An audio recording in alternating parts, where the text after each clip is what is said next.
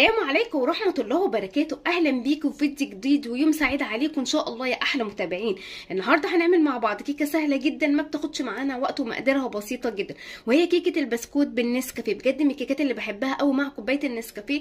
حاجة كده تانية خالص. تعالي نشوف المقادير إيه. أنا معايا بسكوت سادة وبفضل البسكوت اللي هو بيكون سكره قليل عشان تدينا نتيجة حلوة جدا.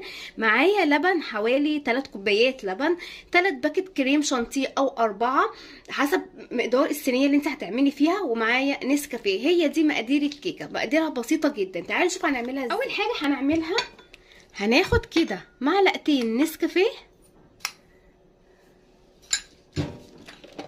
هحط عليهم شوية مية سخنة عشان خاطر أدوبه في المية السخنة عشان خاطر هسقي بيه البسكوت.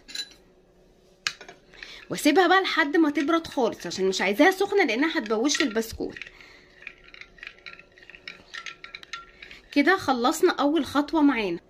ناخدها بقى نشيل كده نشيلها على جنب عبال ما تبرد النسكافيه يبرد. اللي إحنا حطيناه في المية السخنة نعمل الكريمة. بقى معايا كده هو 3 باكيتات كريم شانتيه.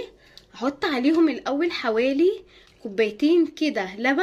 لبن بيكون ساقع من التلاجة. وهضربه لو احتجت تاني هزود. هعمل إيه تاني؟ هاخد معلقة 3 معالق أنا حاطة 3 باكت كريم شانتيه. هاخد 3 معالق صغيرين كده نسكافيه. هدوبهم برضو في شوية مية شوية مية صغيرين عشان خاطر هضيفهم على الكريمة.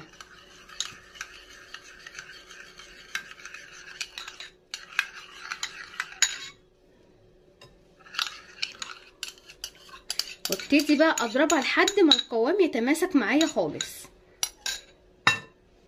نبتدي بقى نخلطها ومعايا برضو اللبن عشان لو احتجت تاني لبن.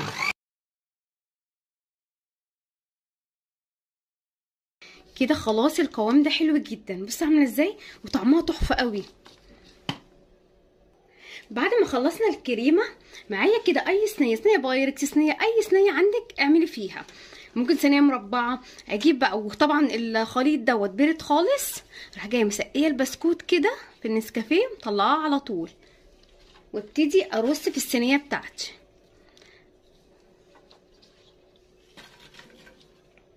لازم الخليط ده يكون بارد خالص عشان خاطر ما يبوش معايا البسكوت.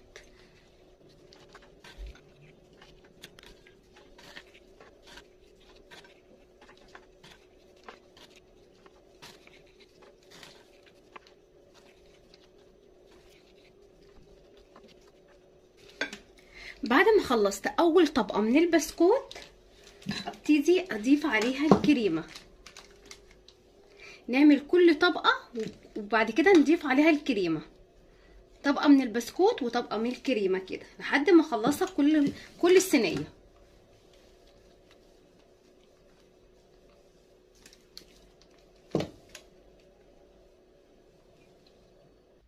بعد ما خلصت كده الكريمة هبتدي برضو أعمل نفس الخطوة اللي عملتها أول مرة.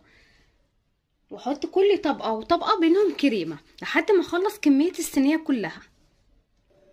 بعد ما خلصت هي كل طبقات البسكوت هحطها بقى في التلاجة شوية كده تماسك بعد كده نكملها.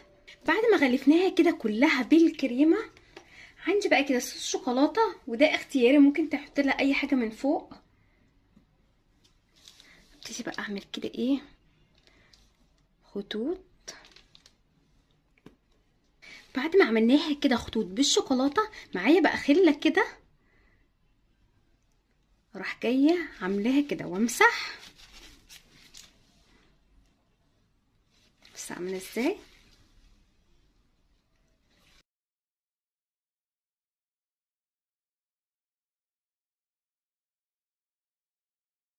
إيه رايكم بقى في الشكل النهائي بتاعها عطتنا شكل ورده كده شكلها حلوة جدا وطعمها أحلى كتير. بجد جربوها هتعجبكم قوي من غير ولا تعب ولا أي حاجة ومقادير بسيطة إن شاء الله كلها موجودة عندنا في البيت. برضه أنا قطعت لك حتة كده برضه عشان خاطر تشوفوها من جوه عاملة إزاي؟ بصوا عاملة إزاي؟ بصوا الطبقات طبقات البسكوت مع الكريمة حاجة كده طعم تاني خالص. بجد حلو جدا الطريقة دي فعلا جربوها. لو انت بقى آه، محتاجة إن انت مثلا بتحبي السكر زيادة بقى زودي سكر في الكريم شانتيه. بس طبعا هي كده مظبوطة جدا حلوة قوي بتليق قوي مع الشوكولاتة. يا رب تكون الوصفة النهارده عجبتكم. ولو عجبتكم الوصفة ما تنسوش الاشتراك في القناة وتفعلوا الجرس على كلمة الكل عشان يوصل لكم مني كل جديد. وأشوفكم في وصفة جديدة إن شاء الله.